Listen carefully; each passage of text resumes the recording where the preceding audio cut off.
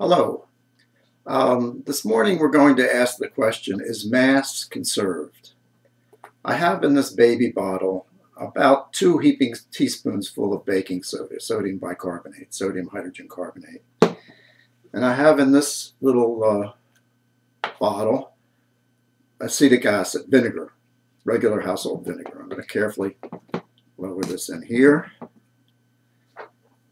And I'm going to put the top on.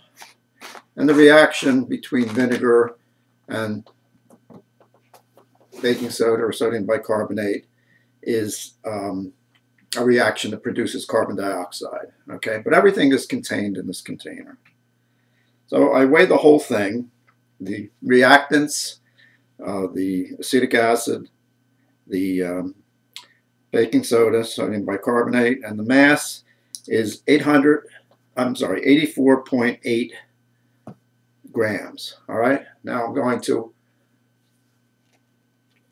tip over the bottle and let the vinegar react with the baking soda. And that's going to cause carbon dioxide to be released.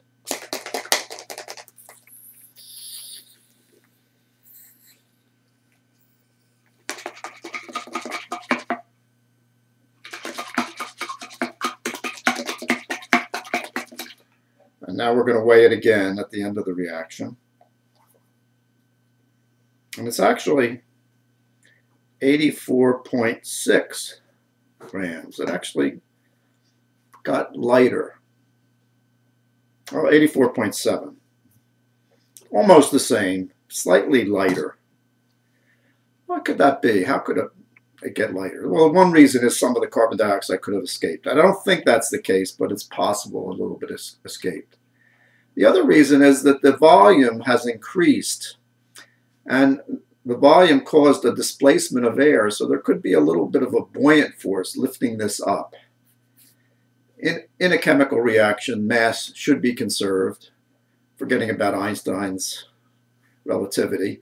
Uh, to a good approximation, mass is conserved. And we have approximately the same mass, but it's slightly lighter. And as I said, it's possible a little bit escaped, but it's also possible that some of it, uh, the mass changes due to the increase in volume causing a, an increase in the buoyant force.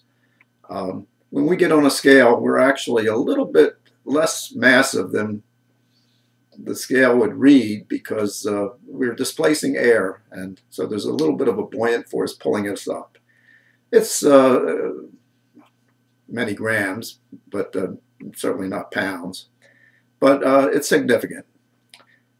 So uh, I hope this uh, illustrates nicely that uh, during a chemical reaction, mass is conserved pretty much.